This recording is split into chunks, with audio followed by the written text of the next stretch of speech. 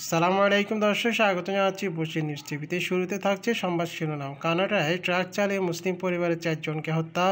জানাব, oxygen plant তৈরি করল দশম শ্রেণির ছাত্র। আরও থাকছে, স্ত্রীকে তিনতলার বাড়ি এবং চল্লিশ লাখ টাকা দিয়ে রাস্তায় স্বামী। সর্বশেষ থাকছে ইসরায়েলের নতুন সরকার শপথ গ্রহণ রোববার। তাই পুরো আলোচনা জানতে ভিডিওটি শেষ পর্যন্ত এখন আমাদের সবগুলো নতুন ভিডিও পেতে দয়া করে আমাদের চ্যানেলটি সাবস্ক্রাইব করুন। ওদিকে কানাডায় পূর্ব পরিকল্পিত হামলায় এক মুসলিম পরিবারের চার সদস্য নিহত হয়েছে। কানাডা পুলিশ বলছে, স্থানীয় সময় রোববার দেশটির অন্টারিও প্রদেশে লন্ডন শহরে হামলাটি হয়। ধর্মীয় অর্থাৎ মুসলিম বিদেশ থেকে হামলা করা হয়েছে।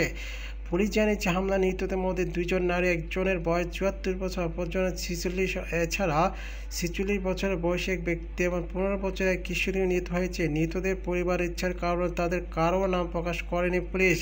পুলিশ আরও জানিয়েছে, পূর্ব পরিকল্পিতভাবে ট্রাক চালিয়ে ওই পরিবারটিকে সবাইকে হত্যা করতে চেয়েছিল খুনি, কিন্তু ভাগ্যক্রমে একমাত্র সদস্য হিসাবে নয় বছরের একটি শিশু বেঁচে গেছে। গুরুতর আহত অবস্থায় তাকে হাসপাতালে ভর্তি করা হয়েছে। বিশ বছর বয়সী কানাডিয়ান এক তরুণের বিরুদ্ধে চারজনকে হত্যা এবং একজনকে হত্যার চেষ্টার অভিযোগ আনা হয়েছে। বলা হচ্ছে, দুই হাজার সতেরো সালে কুইবেক শহরের মসজিদে ছয়জনকে হত্যার পর কানাডিয়ান মুসলিমের উপর এটাই সবচেয়ে ভয়াবহ হামলা। গতকাল সোমবার এক সংবাদ সম্মেলনে গোয়েন্দা পুলিশের সুপারিনটেন্ডেন্ট পল ওয়েট বলেছেন, মুসলিম হওয়ার কারণে এসব মানুষের উপর হামলা করা হয়েছে বলে ধারণা করা হচ্ছে। পুলিশ এতে সম্ভাব্য সন্ত্রাসী হামলার অভিযোগ খতিয়ে দেখছে।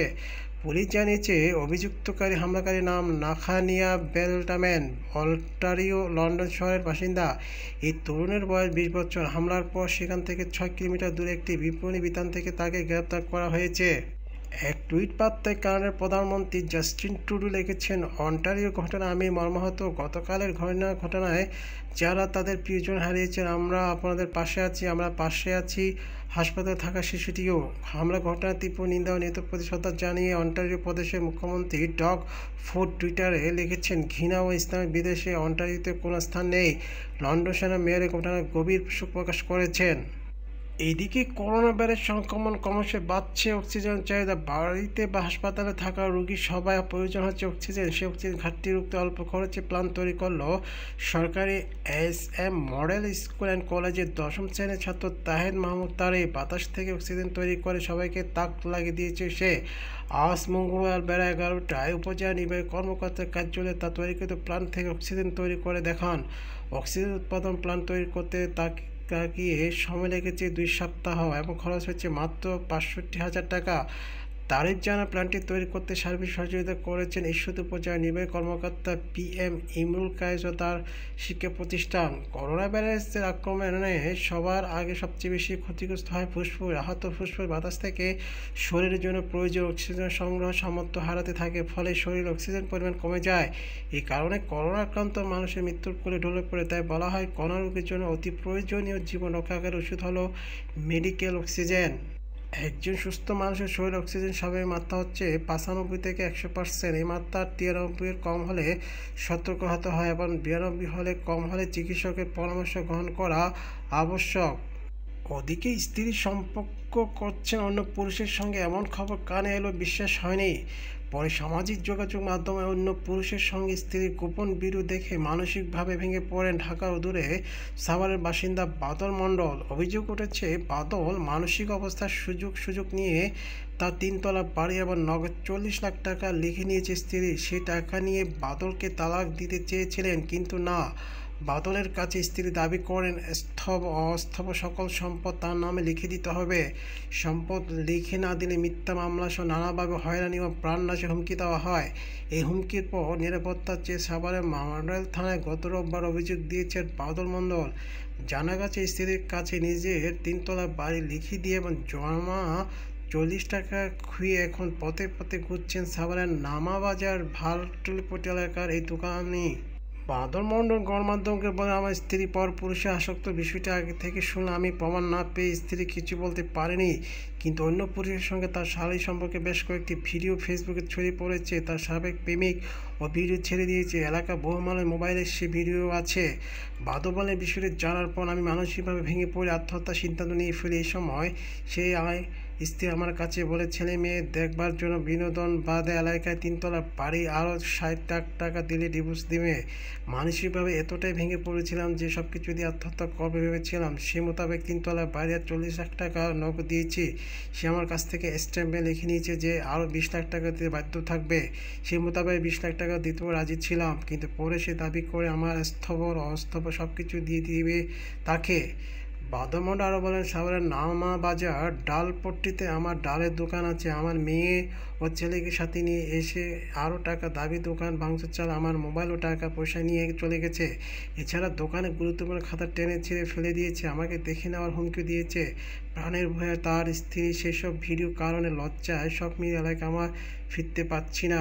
এই বিষয়ে বাদর স্ত্রীর কথা বলতে রাজি হননি তারা। আর মেয়ে গণমাধ্যম বলে বাবা নিচে আমার মায়ের নামে বাড়ি রেজিস্টার করে দিয়েছে, এবং চল্লিশ লাখ টাকা দিয়েছে। আর বিশ লাখ টাকা দেওয়ার কথা আছে সেটা আমার, তার কাছ থেকে আদায় করব। এই ব্যাপারে স্ট্যাম্পে লেখা আছে।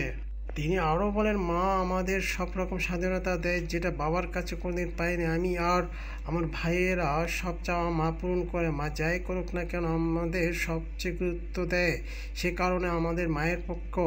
এই বিষয়ে নাম নামবাজার ডালপট্টি এলাকার আনন্দময়ী ডাল মিলের ব্যবস্থাপক গোয়েন্দা শাহ বলেন, বাদল দাদার বিস্তৃত ভিডিওটা এখন অনেক মোবাইলে মোবাইলে।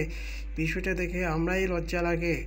ঠাকুর আন্ডা শাহ দোকানের মালিক নকুর শাহ মুন্না ডাল মিলের মোহাম্মদ আলম জানান, বাদল মণ্ডল বাড়ি আর টাকা পয়সা তার বউরা নিয়ে দিচ্ছে।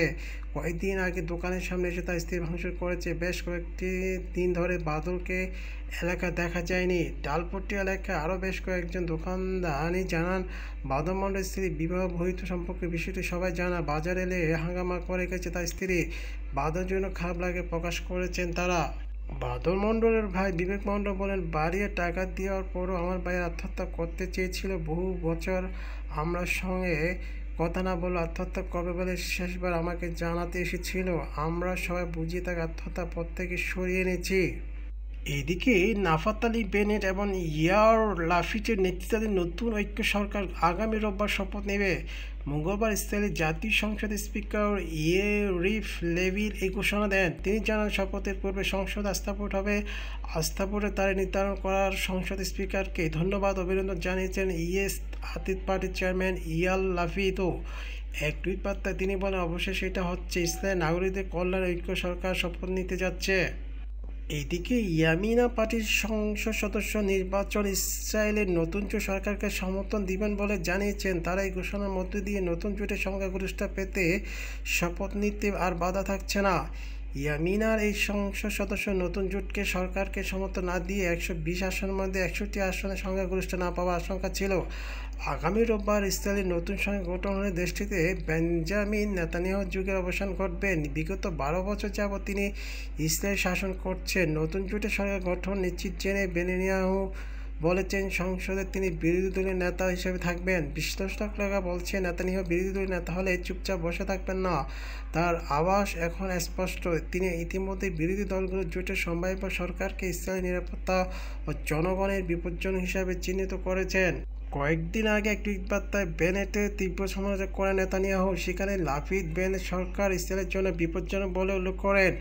ইসরায়েলের নতুন সরকার গঠনের আমেজে দেশটির বর্তমান প্রতিরক্ষা মন্ত্রী বেরিন গেন্টেস টুইটারে এক পোস্টে বলেছেন, আগামী রোববার ইসরায়েল নতুন পদে যাত্রা করতে যাচ্ছে। ইসরায়েলের সম্প্রতি ইয়েস আতিত পার্টির চেয়ারম্যান ইয়াল লাফিদের নেতৃত্বে আট দল মিলে একটি জোট গঠিত হয়েছে। চুক্তি যে প্রথম দুই বছর প্রধানমন্ত্রী সে দায়িত্ব পালন করবেন নাফতালি বেনেট। এরপর দায়িত্ব নেবেন ইয়ার লাফিতো। আগামী রোববার দেশটিতে পার্লামেন্টে একশো বিশ আসনের মধ্যে একষট্টি আসন পেলে সরকার গঠন করতে পারবে নতুন এই জোট। অন্যথায় ইসরায়েলে দুই বছরের পঞ্চমবারের মতো নির্বাচন অনুষ্ঠিত হবে।